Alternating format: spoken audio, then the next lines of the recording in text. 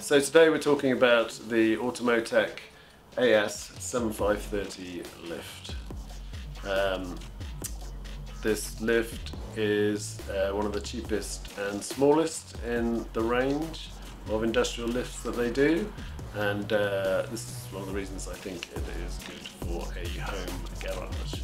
My friend was worried I was going to die putting this car on um, stands so uh, eventually I was persuaded to get a lift so that's why I got a lift and hopefully it's sensible anyway because the resale value of the lift will be quite high even after quite considerable usage I think um, so it's going to be worth it in the long run.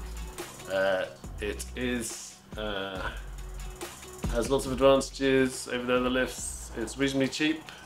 Uh, it's about £2,000 once you factor in uh, all the other equipment that you need, including a compressor and hydraulic fluids and oils, etc., and connectors.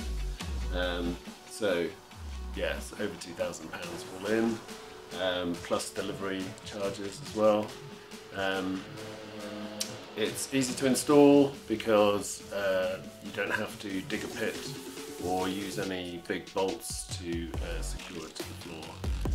Uh, technically it's portable, it has little wheels that you can trolley it around if you really want to. Um, I went for this lift, as I say, because I went for this lift, lift because there are no joining parts um, where the uh, car is, so especially with a rear engine car where you're going to have to drop the engine and the transmission in one go ideally. Um, it uh, makes a lot of sense to not have any obstructions. Um, this is one of the cheaper lifts that would allow you to do that.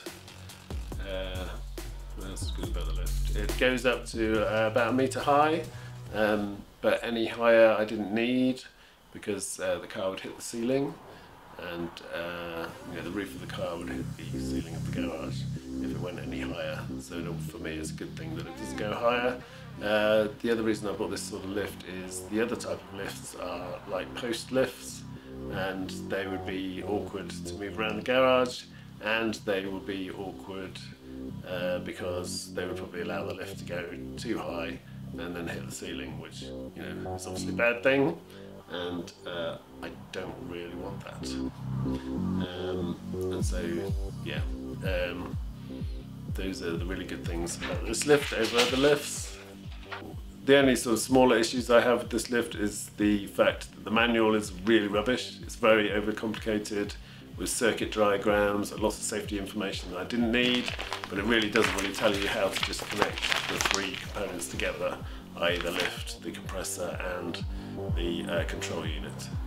Um, the other issue I had was delivery.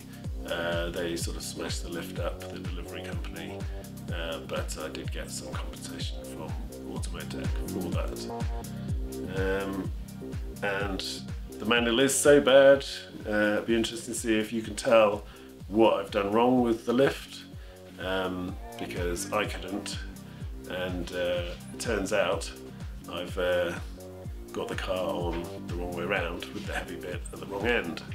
But uh, yeah, I couldn't tell. There's nothing in the instructions tells you which end of the car needs to be at which end or which way around the lift goes. So um, that is just uh, a bit annoying. All in all, I've been pretty uh, happy with the Automotech AS7530 lift. Uh, it is slightly mobile, so if you want to move it around your garage, it's got a lifting height of one meter. Um, it has pneumatic safety locks, and it uh, really is suitable for home garage purposes. Uh, it's really great that I can just lift my car up and down to any height that I wish between sort of zero and one meter, and uh, yeah, it's been really useful so far. So I'm very happy with it.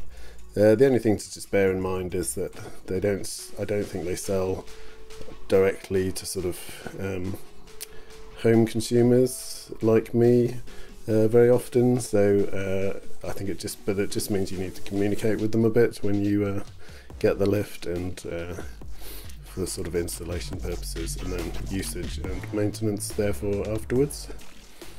But yeah, I'm pretty happy with it, and it's a great addition to my garage.